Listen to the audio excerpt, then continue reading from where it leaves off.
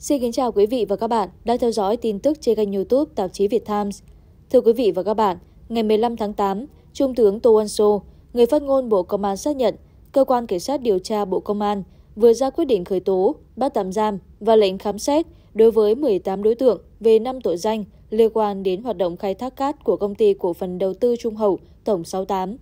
Cụ thể, khởi tố bị can đối với ông Nguyễn Việt Trí, Giám đốc Sở Tài nguyên và Môi trường tỉnh An Giang để điều tra về tội nhận hối lộ. Đồng thời, khởi tố 3 bị can tội vi phạm quy định về nghiên cứu, thăm dò khai thác tài nguyên và đưa hối lộ gồm Lê Quang Bình, Chủ tịch Hội đồng Quản trị, Tổng Giám đốc Công ty Cổ phần Đầu tư Trung Hậu Tổng 68, Võ Truyền Thống, Phó Tổng Giám đốc và Nguyễn Tấn Lịnh, Giám đốc điều hành mỏ Công ty Trung Hậu 68. 6 bị can tội vi phạm quy định về nghiên cứu thăm dò khai thác tài nguyên gồm Lê Trọng Hải và Hoàng Hải Thụy, cùng là Phó Tổng Giám đốc, Trần Anh Tuấn, Giám đốc dự án, Nguyễn Minh Thơi, Nguyễn Văn Tuấn và Nguyễn Đình Nhân đều là nhân viên. Bảy bị can tội lợi dụng chức vụ quyền hạn trong khi thành công vụ gồm Huỳnh Văn Thái, trưởng phòng khoáng sản, Sở Tài nguyên và Môi trường An Giang, Bùi Minh Tuân, Phó Giám đốc Công ty Nam Khang và Giám đốc Công ty Việt Khoa,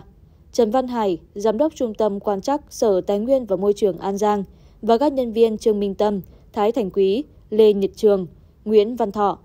Ngoài ra, ông Từ Quáng Xuân, Giám đốc Công ty Phước Xuyên, bị khởi tố tội in, phát hành, mua bán trái phép hóa đơn, chứng từ, thu từ ngân sách nhà nước.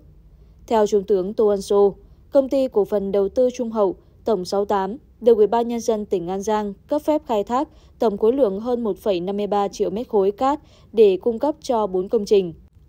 Lợi dụng giấy phép khai thác khoáng sản được cấp, Lê Quang Bình đã chỉ đạo nhân viên và thuê các đối tượng liên quan tổ chức khai thác hơn 4,78 triệu mét khối cát. Vừa trữ lượng được cấp phép hơn 3,2 triệu mét khối, có giá trị tạm tính khoảng 253 tỷ đồng. Cơ quan Cảnh sát điều tra Bộ Công an đang tập trung điều tra làm rõ tính chất, vai trò, hành vi phạm tội của các bị can và người có liên quan để mở rộng điều tra, làm rõ vụ án, thu hồi triệt đề tài sản cho nhà nước. Vụ giám đốc Sở Tài nguyên và Môi trường An Giang bị bắt, hàng triệu mét khối cát bay màu ra sao? Hiện nay, cơ quan cảnh sát điều tra Bộ Công an đã làm rõ các tình tiết có liên quan đến vụ án và hành vi của từng bị can vi phạm pháp luật trong hoạt động khai thác, kinh doanh cát của công ty cổ phần đầu tư Trung Hậu Tổng 68 tại mỏ cát trên địa bàn xã Mỹ Hiệp và Bình Phước Xuân, huyện Chợ Mới, do Ủy ban Nhân dân tỉnh An Giang cấp phép khai thác. Theo Bộ Công an, công ty cổ phần đầu tư Trung Hậu Tổng 68 có trụ sở tại xã Bình Hưng, huyện Bình Chánh, thành phố Hồ Chí Minh, do ông Lê Quang Bình là Chủ tịch Hội đồng Quản trị, Tổng Giám đốc. Công ty của ông Bình được Ủy ban Nhân dân tỉnh An Giang cấp phép khai thác tổng khối lượng hơn 1,5 triệu mét khối cát cung cấp cho 4 công trình. Dự án cao tốc Mỹ Thuận, Cần Thơ, tuyến nối quốc lộ 91 và tuyến tránh thành phố Long Xuyên, công trình đường kênh Long Điền A, B và dự án thành phần đoạn Cần Thơ, Hậu Giang và Hậu Giang, Cà Mau thuộc công trình đường bộ cao tốc Bắc Nam phía Đông. Kết quả điều tra cho biết, ông Bình lợi dụng giấy phép khai thác khoáng sản được cấp đã chỉ đạo nhân viên và thuê các đối tượng liên quan tổ chức khai thác bước đầu xác định là hơn 4,7 triệu mét khối cát, trị giá tạm tính khoảng 253 tỷ đồng. Công ty bỏ ngoài sổ sách không khai báo và nộp nghĩa vụ tài chính với số cát khai thác vượt giấy phép 3,2 triệu mét khối này. Cơ quan điều tra cáo buộc để tiêu thụ số cát khai thác trái phép thu lời bất chính, ông Lê Quang Bình cùng đồng phạm dùng thủ đoạn thông qua các công ty trung gian do ông ta thành lập, quản lý mua bán hóa đơn đầu vào, khống, hợp thức nguồn gốc cát. Số tiền thu được, ông Bình sử dụng chi cho một số cán bộ cơ quan chức năng, trong đó có ông Nguyễn Việt Trí, Giám đốc Sở Tài nguyên và Môi trường An Giang. Đến nay, cơ quan điều tra chưa công bố ông Trí đã nhận hối lộ bao nhiêu tiền. Cơ quan Cảnh sát điều tra Bộ Công an khởi tố về tội vi phạm quy định về nghiên cứu, thăm dò, khai thác tài nguyên và đưa hối lộ đối với ông Lê Quang Bình, Võ Truyền Thống, Phó Tổng Giám đốc và Nguyễn Tấn Lịnh, Giám đốc điều hành mỏ, Công ty Cổ phần Đầu tư Trung Hậu Tổng 68. Khởi tố về tội vi phạm quy định về nghiên cứu, thăm dò, khai thác tài nguyên đối với 6 bị can gồm Lê Trọng Hải và Hoàng Hải Thụy đều là Phó Tổng Giám đốc, Trần Anh Tuấn, Giám đốc dự án, và các nhân viên công ty cổ phần đầu tư Trung Hậu Tổng 68 gồm Nguyễn Minh Thơi, Nguyễn Văn Tuấn và Nguyễn Đình Nhân. Khởi tố về tội in, phát hành, mua bán trái phép hóa đơn, chứng từ, thu nộp ngân sách nhà nước đối với ông Từ Quang Xuân, Giám đốc công ty Phước Xuyên.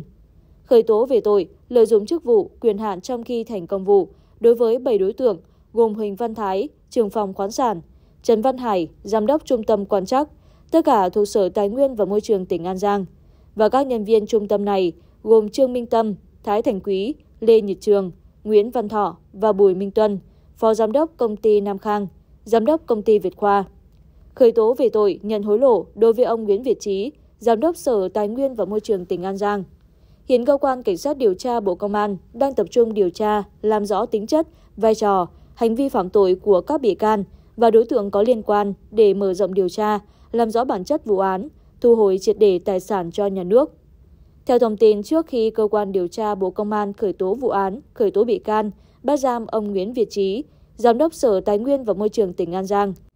thì thanh tra chính phủ đã công bố thông báo kết luận thanh tra. Trong đó nhắc đến công tác cấp giấy phép khai thác cát trên địa bàn tỉnh An Giang giai đoạn 2015-2020. Thanh tra chính phủ đã chỉ ra hàng loạt vi phạm của tỉnh An Giang. Theo đó, công tác quản lý nhà nước đối với hoạt động khai thác cát và việc cấp phép khai thác cát còn một số hạn chế, vi phạm dẫn đến số tiền cần thu nộp ngân sách nhà nước hơn 2,6 tỷ đồng. Ngoài ra, số tiền thuế, phí chưa nộp của một tổ chức cần thu nộp vào ngân sách hơn 981 triệu đồng. Giai đoạn từ tháng 7 năm 2011 đến tháng 12 năm 2020, Ủy ban Nhân dân tỉnh An Giang cấp 4 giấy phép thăm dò khoáng sản cát sông tại khu vực không đấu giá, nhưng không thực hiện thủ tục lựa chọn tổ chức cá nhân thăm dò khoáng sản. Từ sau ngày 1 tháng 7 năm 2011, An Giang gia hạn 15 giấy phép khai thác cát không đúng quy định. Tỉnh này cấp 7 giấy phép khai thác cát thuộc khu vực khoanh định, không đấu giá, nhưng không xác định phục vụ riêng cho các công trình xây dựng sử dụng ngân sách nhà nước, công trình khắc phục thiên tai, địch họa, công trình hạ tầng giao thông và công trình phúc lợi thuộc chương trình xây dựng nông thôn mới là không đúng quy định. Ủy ban nhân dân tỉnh không thu tiền cấp quyền khai thác cát đối với hai trường hợp gia hạn khai thác cát là không đúng quy định. Tổng số tiền cần thu nộp ngân sách nhà nước là hơn 2,6 tỷ đồng.